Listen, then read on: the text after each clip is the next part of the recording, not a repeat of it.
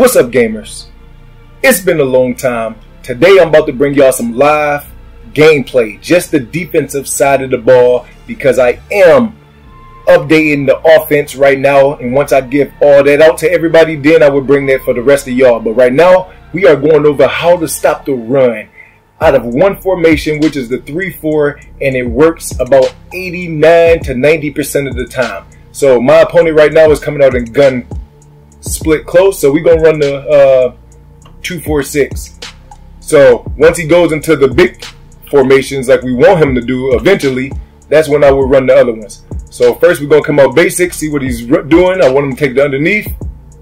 I got this over here and he throws it and we should have had a pick right there. So right now he's in gun ace. This is what a lot of people goes to. So I run the cover nine out of this. All you want to do, spread your D line, crash down, and then bring him down a little bit. Play the uh, play pass, and I will use this guy. So I'm taking that first row, taking the second row. He's running. I'm gonna send him, and he dives, and we get the fumble. Now you see when I gave him that type of look, he didn't want to uh, try to run the ball, and that's what a lot of people do. They want to scramble, they want to run around, but they got a patch that just dropped. So running with the quarterback is not as OP if you have the right type of uh, play setups.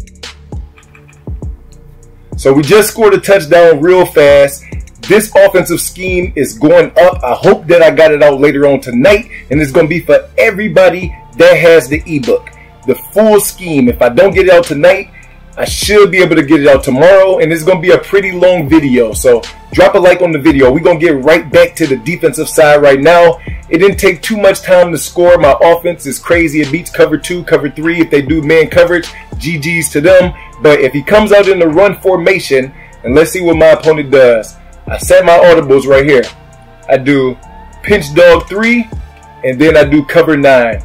That's my, see he's in single back wing tight, so this is perfect. So what I like to do is go to pinch dog three, and I got auto flip on. So I would spread D-line, pinch him, and then press, and I would come right here, and I would man him up with the running back, if the running back don't go off for a route, so I'm watching right here. I want a seam, and there's the run, and you can see, you can see the block sheds. I man him up with the running back, and we guess pass. If he's not on the rope, he will guard somebody else for a quick second, and I'm playing right here. Connection has been lost, but y'all can see how effective it was. I just played three games in a row. I'm to put some gameplay clips at the end, break down the running uh, formations and you're to see just how good it is.